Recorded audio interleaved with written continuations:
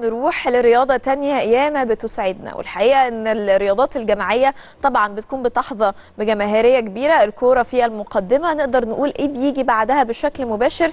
الهاندبول لما يقدمه على مدار التاريخ أجيال مختلفة من أداء ومن إنجازات ومن ألقاب ومن منافسة على أعلى مستوى مع أبرز وأشرس المنتخبات على مستوى العالم. فإحنا مصنفين تواجدنا وسط الكبار وسط كبار أوروبا في عالم كرة اليد. الحمد لله إحنا متواجدين معاهم. ولكن إحنا إن شاء الله هنكون داخلين على مهمة خلال شهر يناير. يعني شهر يناير فيه أحداث كتيرة متعلقة بالرياضة والرياضة الجماعية بالتحديد سواء الكرة في كأس أمم أفريقيا أو كمان ككرة اليد. مصر هتكون بتستضيف حدث رياضي وهو نهائيات برضو كأس أمم أفريقيا ولكن لكرة اليد والمؤهلة بإذن الله لاولمبياد باريس 2024 البطوله هتكون في الفترة من 17 وإلى 27 يناير. وأكيد منتخبنا دائما وابدا مرشح فوق العاده ان هو إن شاء الله يكون بيفوز بالبطولة اللي بيحمل لقبها. وإمبارح كمان استقر الإسباني باستور المدير الفني لمنتخب اليد على أسماء اللاعبين المشاركين في بطولة كأس الأمم الإفريقية اللي هتكون مصر إن شاء الله بتستضيفها في شهر يناير. فخليني كده أستعرض مع حضراتكم قائمه اللي ضمت تسع محترفين من دوريات أوروبية وعربية. في حراسة المرمى كريم هنداوي محمد علي وأيضا محمد عصام.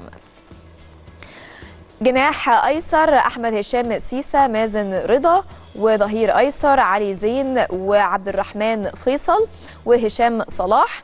أما بالنسبة لصانع الألعاب أحمد خيري يحيى الدرع سيف الدرع.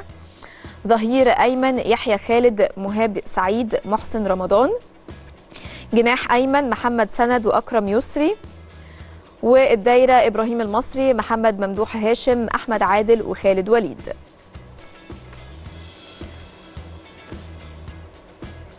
كل الأمنيات بالتوفيق بإذن الله اداء رائع وكالعادة من منتخب مصر لكرة اليد. الهيمنة على المستوى الإفريقي الحمد لله دائما من نصيبنا. وبإذن الله نكون بنسهل على نفسنا الطريق وبنصعد بشكل مباشر ل... بإذن الله لدورة الألعاب الأولمبية في باريس 2024 لأن طبيعي جدا إن إحنا نكون بنشوف منتخب مصر موجود في الأولمبيات وشفنا أداء مميز جدا جدا في النسخة السابقة. بإذن الله نكون بنحصد ميدالية في النسخة القادمة من كأس أمم أفريقيا وعلى مستوى بقى أو من في نحصد ميدالية على مستوى بإذن الله دورة الألعاب الأولمبية.